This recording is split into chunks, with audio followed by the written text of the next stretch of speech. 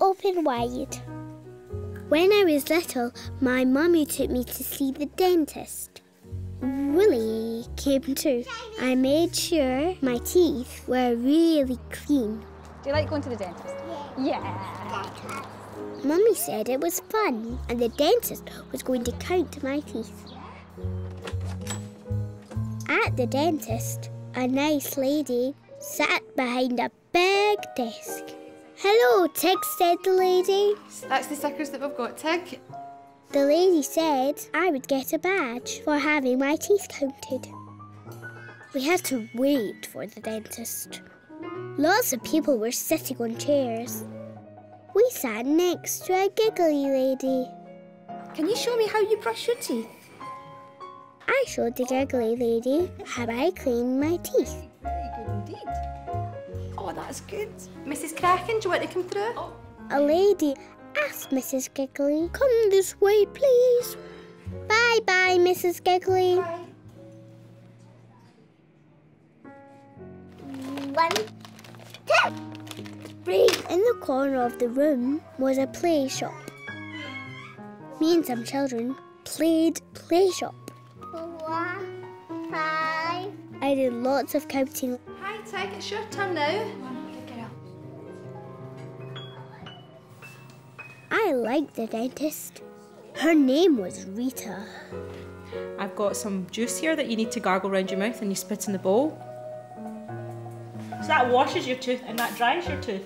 Rita showed me lots and lots of things. Things I'd never seen before. There's a slurpy sucker, a water shooter, Sunglasses, a polisher, is a special, special fast electric toothbrush. It's a special electric toothbrush. Is that good? but best of all was the chair. And then right up into the sky. The chair could go up and down and back and forward like a ride at the fun fair. Right, I'm going to count your teeth now. This is my tooth counter for counting your teeth. Open wide. Please. I shut my mouth. I didn't like the tooth counter.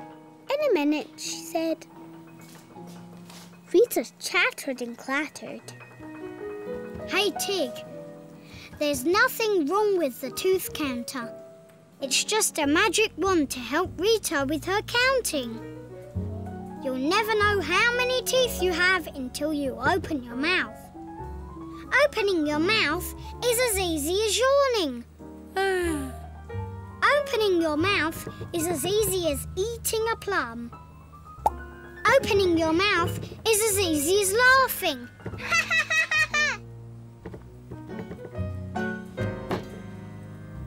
ah, ah, ah,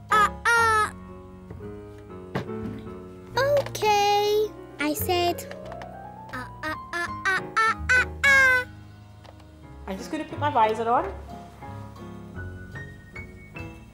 Okay, Tig. Open wide for me and we can count these teeth. Open wide, said Rita. Open wide. Rita counted my teeth with her magic wand. 17, 18, 19, 20. You've got 20 teeth in there. It's only a toy spider. Sticker. Whee! Are you all done? She was very brave. The lady at the desk gave me my badge. Somebody have a Of course you can. Ah. there you go. Well done. I wanted a badge for Woolly too. I like the dentist. Woolly likes the dentist too. I love Woolly. Am I trying to work for me? We've been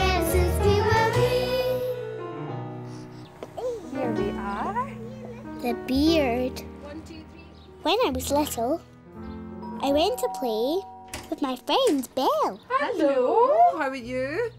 Woolly came too. Not at all. Belle's house was big. There were lots and lots of rooms. We went exploring. There was a staircase to go up and down. There was a garden too. we saw Belle's big sister, Ruby. Ruby jumped on the trampoline. Belle showed me lots of places to hide and jump out. Then we played hide and jump out. Belle had a little brother called Finny. I played cards with Finny. Belle had a mummy called Anne. Anne was kind. She gave us a drink and a biscuit. Bill had a big sister called Lottie. Lottie had funny clothes and fancy shoes. Me and Bill dressed up. Are you trying on my clothes? Lottie laughed. Mummy came to take me home. No, I said. No. And I ran away with Belle and Woolly to hide. Anne said to Mummy I could stay for lunch. Okay, have a lovely time. Bye. Hooray! Yay! I like being at Belle's house. The boys are not allowed to peg. Look at this, boys and girls. History's never always the way you think it's going to be. At lunchtime, Anne made an apple pie. A little bit more? Belle said apple pie was her favourite. You do. I said apple pie was my favourite too. Bit for Dad. Oh dear, said Anne. Daddy's going to miss the apple pie. Tell me you think it's nice. Oh, I thought. I didn't know Daddy was coming to lunch. Daddy's home. Hi, guys. Hello, Tink. A man came and sat at the table. The man didn't look like a daddy. The man had hair all over his face. Ooh, apple pie. Special treat because Tink's here. Mm. The man looked like a bear. I didn't like Belle's daddy. I didn't like my apple pie. I wanted to go home. Hey, Tig! Not all daddies look like your daddy. This daddy looks different. This daddy has a beard. This dad is not fierce. It's just a bit hairy like a big friendly teddy bear. He doesn't look like a friendly teddy bear. Then just imagine he is a big friendly teddy bear. Look at him. Blink. And ting! He's a big friendly teddy bear. I looked, blinked, and ting! Belle's daddy was a big friendly teddy.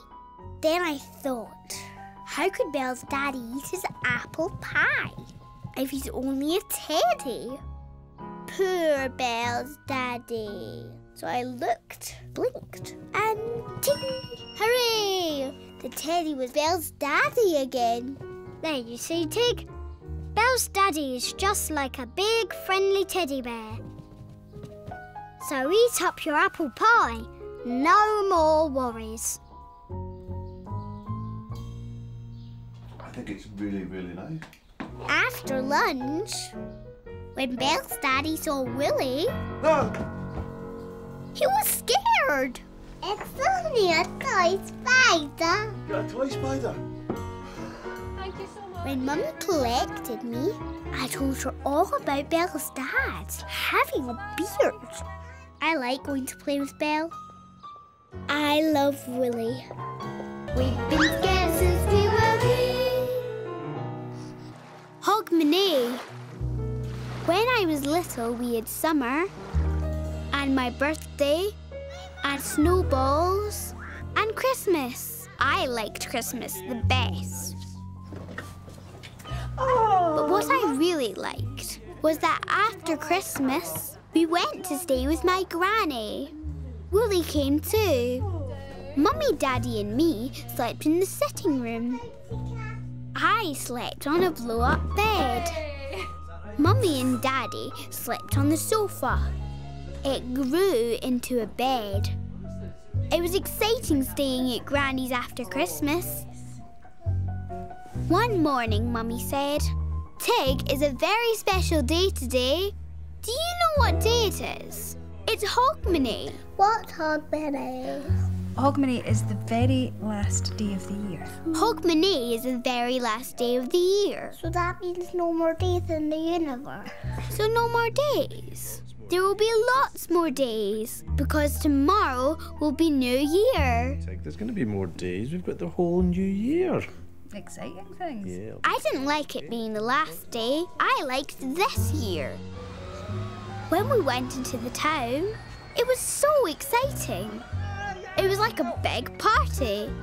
There was a fun fair in the streets with a big wheel and a carousel. Everything looked magic and music everywhere. Hogmanay was a special day. Hogmanay was fun. Everyone seemed so happy. No one seemed to mind it was the last day. When it got dark, there was a big procession with fire torches. A band played with bagpipes. Bagpipes. When we got home, Granny had made a steak pie. Steak pie, my favourite. It was so good. Is it still Hogmanay, Mummy? I just tell Hogmanay, Mummy. Yeah, it is, Tig. Isn't that exciting? Daddy, look at my shiny teeth. When it was bedtime, Mummy said, Tig, tonight you're going to sleep in Granny's bed. Isn't that exciting? Why am I sleeping in Granny's bed? Because Hogmanay goes long into the night, and that is when you and Because Hogmanay is a very long day. Then Granny came in with a little tree. This is my special Hogmanay wish tree. Because this is my special Hogmanay wishing tree. Everybody has to make a wish, and once you've made your wish, you pop a fairy onto the tree. What do I wish, Granny? I said. What wish? Well, you could wish for something good to happen in the new year. I don't know, I said. I don't know, Granny. Oh, well, you think about it, and that's your wee fairy to pop on the tree. You have to think, said Granny. I was sad. I didn't want a new year. Whee! Hey, Tig, no need to be sad. Hogmanay might be the last day of one year, but tomorrow is the first day of a brand new year. But what about this year?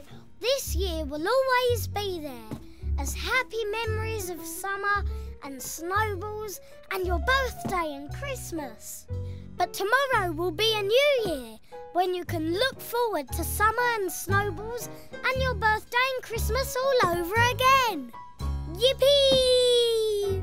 That's why everyone is so excited and happy on Hogmanay. Everyone is looking forward to the new year. Yes? And what it will bring. So go for it, Tig. Don't be sad. Whoops! Make a wish for a happy and exciting new year. Yes, I thought. I love Hogmanay, but I'll make a wish for a happy new year where we can have summer, snowballs, and my birthday and Christmas all over again. Before I went to sleep, Auntie Shona came in. I just came to put my wish on the wishing tree. Where's Clive? Where's your boyfriend, Clive? I said. He's not here, I'm afraid. I wish he was. You're going to wish for that? Why don't you wish for him? I said. Yes. I think I might. Maybe I shall, said Auntie Shona, I've made my wish. and popped a fairy on the tree. Shona and Mummy kissed me night night. When you wake up, Tig, said Mummy, it will be New Year's Day. morning is going to be New Year's Day. I closed my eyes so my wish would come quickly.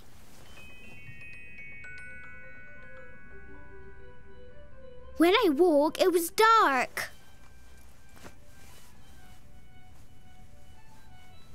I heard music. I looked into Granny's sitting room. Mummy and Daddy were dancing. Shona was playing her fiddle. Oh, Tig. Oh, sorry, Tig. Is it New Year yet? Is it New Year?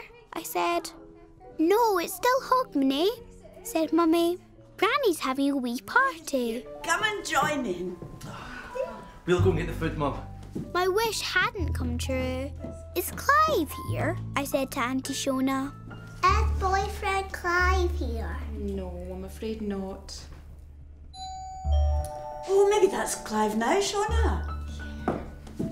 When Shona went to the door, she didn't come back with boyfriend Clive. It's Tam. Oh, Shona came back with a man I didn't know. Tam comes from next door, Tig. He's got a wonderful singing voice. Shona wasn't happy. I wasn't happy. Our wishes hadn't come true. Hey, Tig, some wishes can take a long time, especially when you wake up in the night. But my wish hasn't come true. You've wished for a happy and exciting new year, but you have to wait for a new year to arrive first. New Year can't happen just like that. We have to wait until it's exactly the right time. New Year will arrive when all the clocks strike 12 o'clock midnight tonight. But hey, wee! Hogmanay makes the waiting fun. So go for it, Tig. Join in Granny's Hogmanay party, and it won't be long now before Hogmanay turns into New Year. Hooray!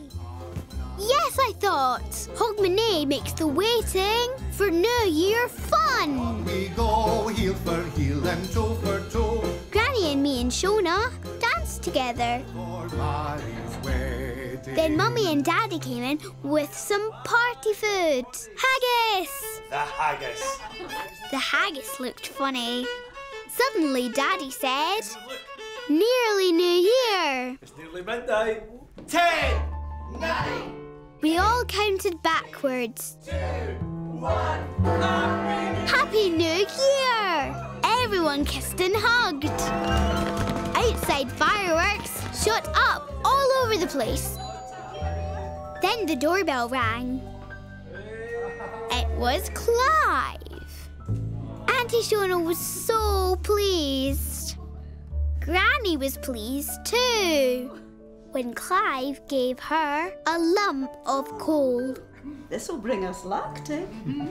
I showed Woolly to Clive to say Happy New Year. It's only a toy spider. Should old then Tam from next door sang. forgot and never brought to mind. Should old acquaintance be forgot and all Woolly sang too. sign.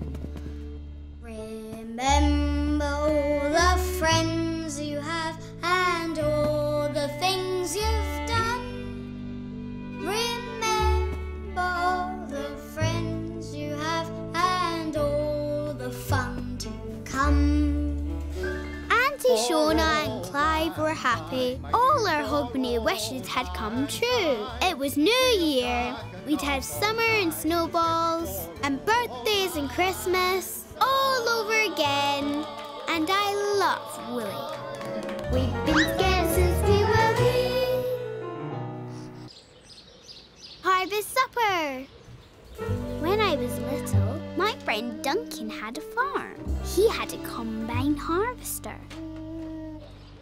Duncan's daddy had a farm too.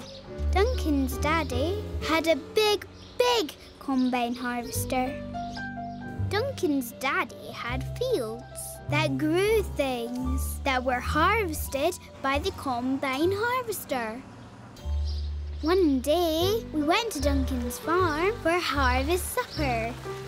Daddy said harvest supper was a party to say yippee for all the things that grew in the farm. Yeehaw! Yee-haw! The harvest supper day was the last day of the harvest and the last day for the combine harvester. Woolly came too. Mummy said that all the things for the supper were growing on the farm. Look, Tig, all the food here for the harvest supper has been grown on the farm. So Wheat for the bread, And apples for the apple juice. apple for the juice. Right, Tig, why don't you go upstairs and play with Duncan and I'll give Rebecca a hand. Good girl. Yes. Duncan was playing on his little farm. I drove the tractor. I collected the hay bales. Tea break for the farmers. Then Duncan's mummy gave us juice and Aussie flapjacks. Those are oaty flapjacks, and guess what? The oats are grown here on the farm. Mummy said the Aussie flapjacks were grown on the farm too. The Aussie flapjacks were so good. I wanted to see them harvested.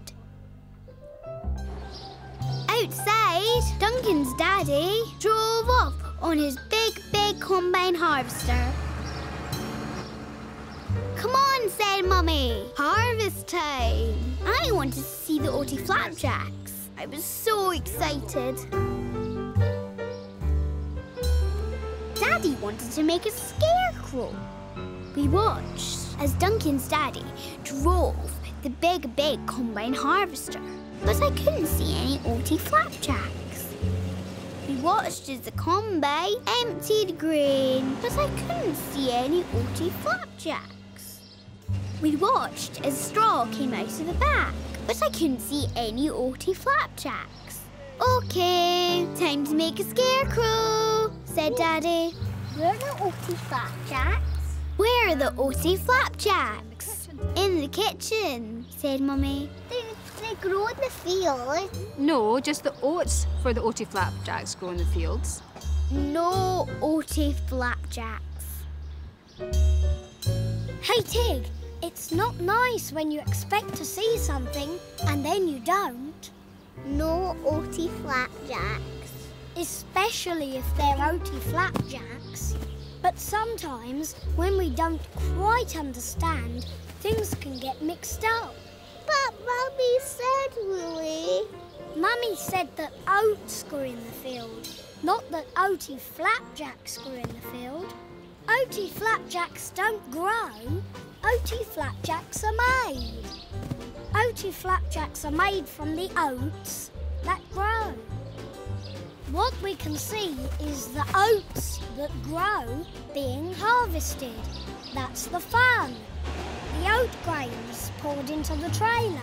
And then we have the leftover straw dropped out of the combine harvester to make the scarecrow.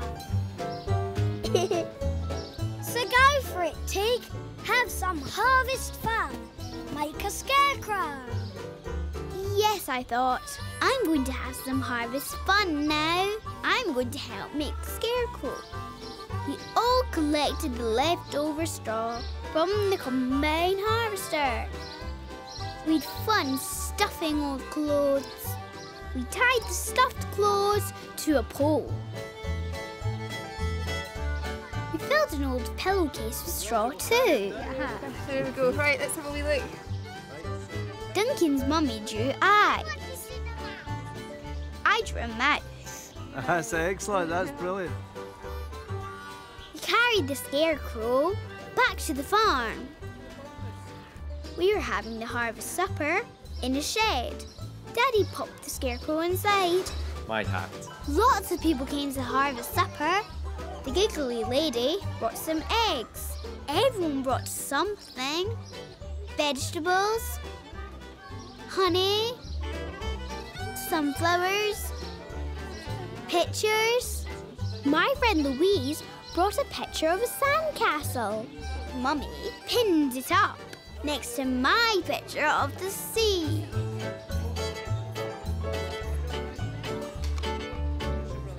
Duncan's mummy gave us all a corn dolly made of straw. I had one and Louise had one. Duncan's daddy finished harvesting. Everything had been harvested. Now we could have our harvest supper. I told Louise that the harvest supper was all grown on the farm. Everything that we're eating is grown on the farm. Ladies and gentlemen, boys and girls, can I propose a toast to the farmer Duncan and to the harvest? The, harvest! After supper, it was time to take our scarecrow to the fields. When I looked for my corn dolly, Louise had taken it. Louise, this is my corn dolly. That is yours. Yours, mine. The one nearest to my bread, that's Louise's. Lu- Louise, that's my corn dolly. No, it isn't. It's mine. Louise had taken my corn dolly. Daddy, Louise has my corn dolly. No, but isn't that your one? No, that's Louise's. But they're exactly the same. No, they're not. It's just a little thing. Don't worry about it. Hey, Tig, when you know you're right, it's not fair that someone else thinks you are wrong. Louise has my corn dolly. But Louise is quite sure she's right too. Who's right? Who's wrong? Well, who can say? Just everyone looks in different ways. Whee! One way you'll see the darkness, one way you'll see the light. Depends which way you're looking, if it's sunrise or the night. One way you'll see the waves break, one way you'll see the sand. Depends which way you're looking, if you're by the sea or land. Hey, stop spoiling all the fun and messing up the day. What matters most is getting on and joining in the play. There's right and wrong and wrong and right, and what will be will be. Now no more angry feelings, let's agree to disagree. Sun will shine. Depends which way you're looking,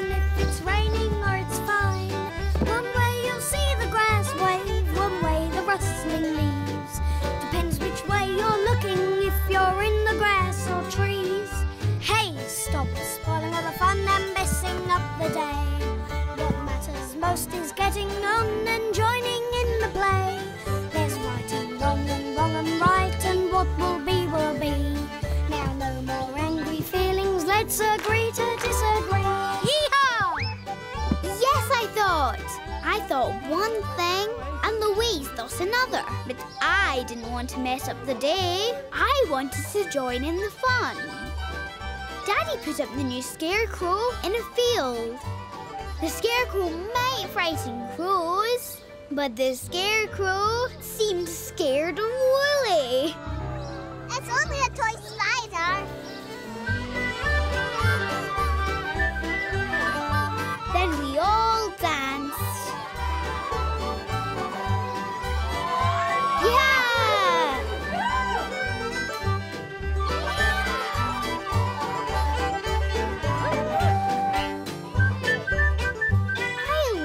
Harvest Day and Harvest Supper. I like my corn dolly, and I love Woolly. We've been scared since we were wee. Getting better. You're not hungry? When I was little, I got ill. I didn't want any tea. And I hurt all over. What's wrong? I don't feel very well. Oh. Mummy took my temperature. Oops, you're a bit hot, Tig, said Mummy. Let's get you to bed. I didn't feel well. Hello? When Daddy came home, he came to see me. Are you okay? You okay, Tig? She's got a bit of a temperature. No, I said. I don't feel well. Woolly cuddled in beside me. I fell asleep.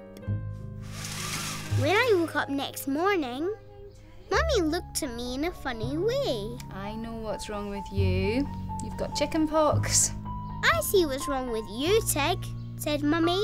You've got chicken pox. I look like a speckledy thing with little red spots. We'll have to get you better, said Mummy. In the day, Mummy read me lots of stories. My spots itched. Mummy put nice cool stuff all over the spots. I even had spots in my mouth. Mummy gave me lollies. Mummy made me lots of mashy meals and sloppy drinks. This one is Bernard. At night, Mummy gave me puppet gloves to wear so I didn't scratch.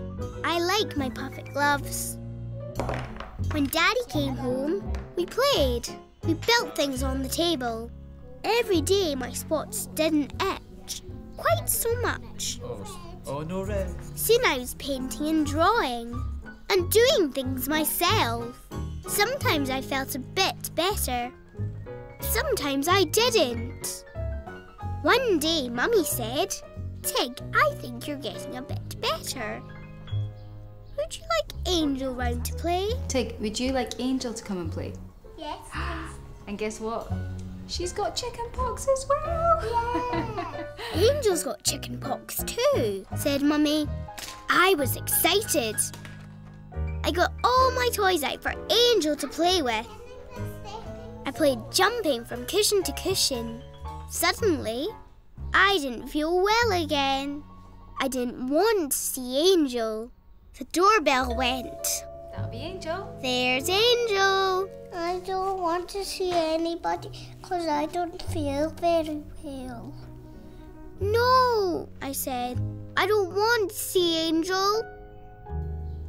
Hey, Tig, getting better can take a long time. Sometimes you feel up, sometimes you feel down, sometimes you feel wobbly, sometimes you feel strange. Getting better is like doing everything for the first time all over again. Whee! Like walking in the street. Or going back to school. Or seeing Angel again. But every time you do something new again, you'll feel a little bit better. So go for it, Tig. Say hi to Angel. It'll make you feel like your old self again. Yes, I thought. I want to be my old self again. You've got spots. I want to see my friend. I want to get better. Angel and me played. When Mummy saw Woolly with spots. oh! It's only a toy spider. I like getting better.